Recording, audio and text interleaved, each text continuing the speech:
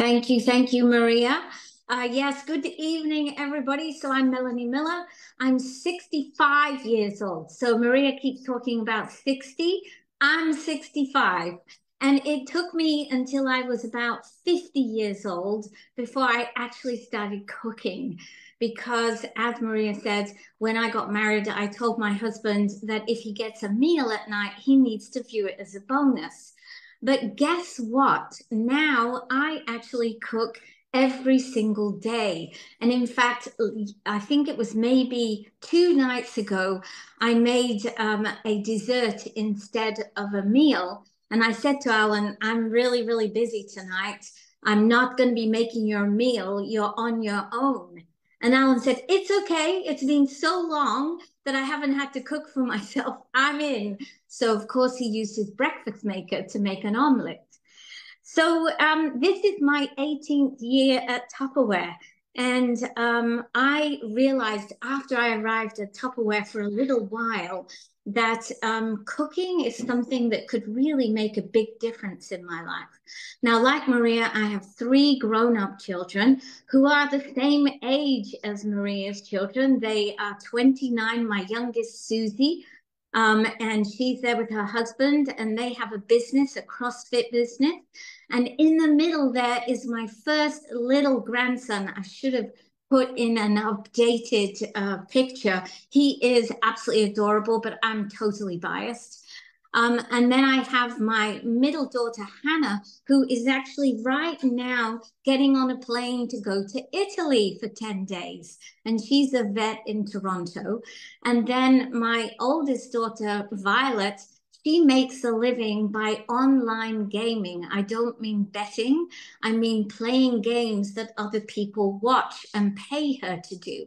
And the little dog is Killian, and my husband, Alan, who is um, a great support and uh, keeps me on my toes. I think that's what I would say about Alan. So, being in control of your kitchen means that you need to have ingredients that are going to go towards your repertoire. Now, we are aiming to be the best at the world of getting people back into their kitchen. But we want them to get back into their kitchen because they want to be able to save time, save money, eat more healthily, and be a solution to pollution.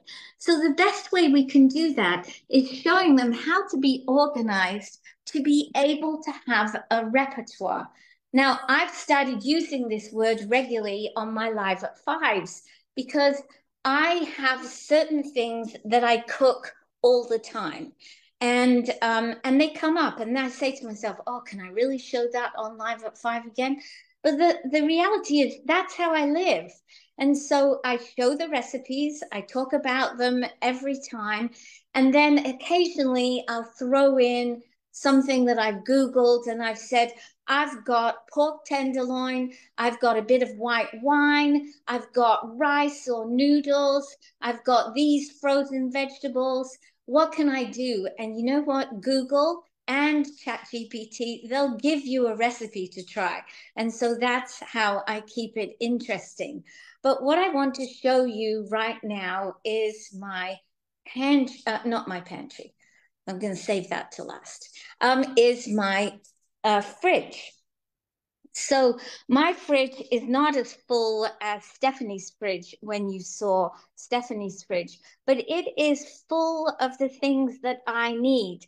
And there's a hole here because that's where I put my leftovers ready for tomorrow to be able to have lunch.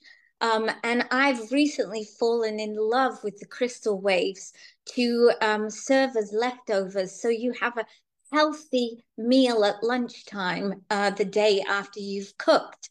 So I always have peppers, and my peppers are always uh, cut up, ready to use. I always have broccoli and cauliflower. I put them in the same container. I always have carrots. Um, we also have in here regularly uh, small fruits because one thing Alan and I do have at lunchtime or breakfast is uh, yogurt with uh, fruits.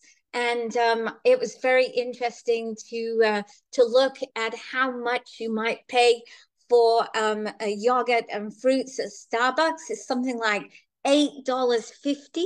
And yet for us, it probably costs us $2.50 be- just because we buy, you know, posh yogurt, I suppose, um, and um, and all the small fruits. And you know how small fruits, uh, the price of them can mount up. Um, and I've recently had to try. There's some things at the top here which are not usually here. I've recently recently had to try uh, vegan cooking because my daughter Susie is um, breastfeeding and uh, she is not able to uh, eat dairy products. So let's have a look now at my freezer. So my freezer is small. I have three shelves and I have on the top shelf, I generally have my my frozen fruit, my frozen veg.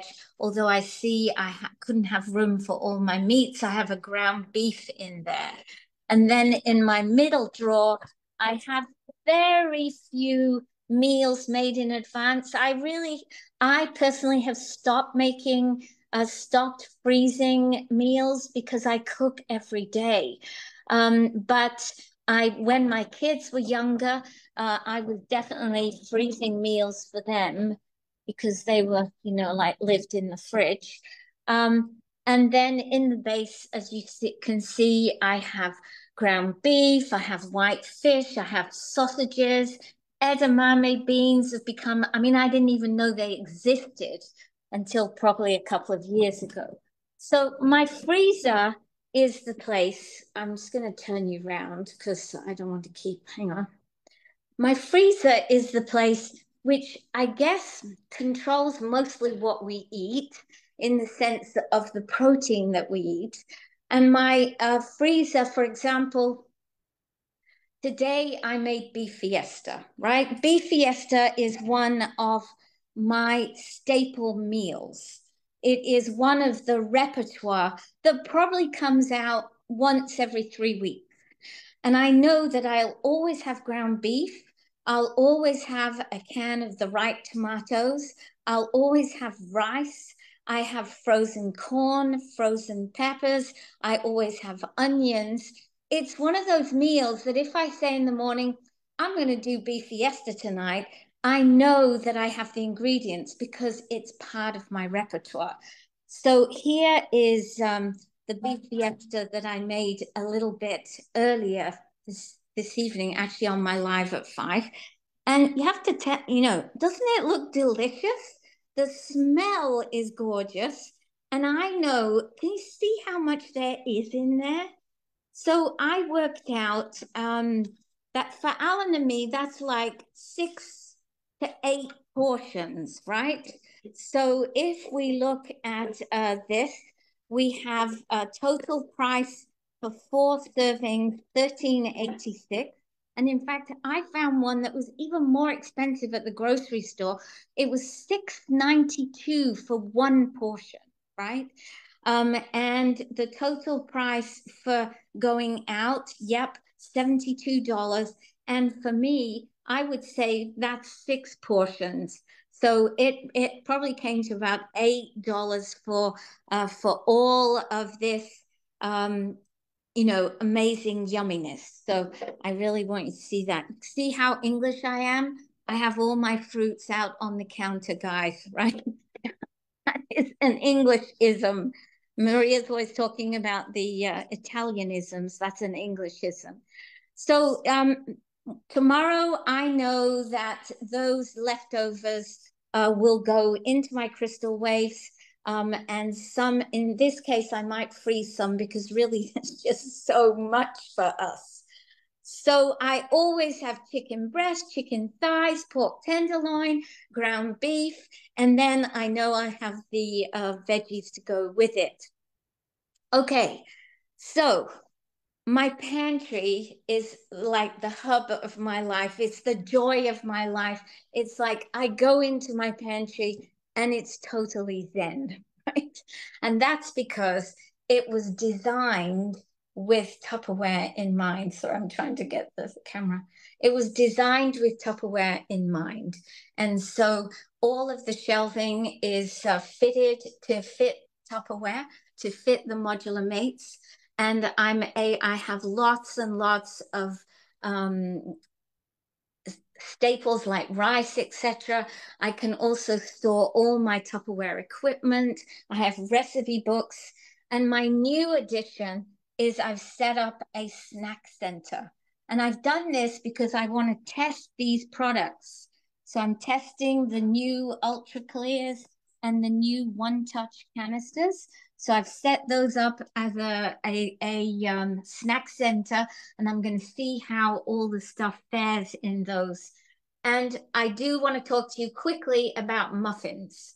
So I now have a standard muffin mix. And what I've worked out is that if you make muffins and you have um, a standard mix in your pantry, what it means is that uh, you will make muffins and you can add in any fruit to them whatsoever. And I was like really shocked to find that when I did a search on how much muffins cost at other places, you can pay four seventy five for a muffin at Starbucks. I'm not sure which ones uh, um, Marie Pierre showed you there, but I have a muffin mix which I make up regularly. And, um, you know, making muffins for yourself is much, much cheaper. Um, $1.20 for six portions, $5.97 when you buy it from the grocery store, and 13 14 yeah i think actually marie pierre that's a generous like if you think six fours are 24 like you could pay 24 bucks for six muffins. Anyway i love what i do. Um, i have learned so much by being at tupperware. Um, I would never have been cooking the way I do. I love the opportunity to share with other people and uh, my vision for my 2024 is to promote at least one new director and to finish as a million dollar organization going in for doubles next year. So thank you guys for listening to me. And uh, I hope I've inspired you to say, okay, I don't cook at the moment, but if Melanie can switch from never cooking to now operating in a kitchen like that, maybe that's something you can do. And joining Tupperware is the best way to start.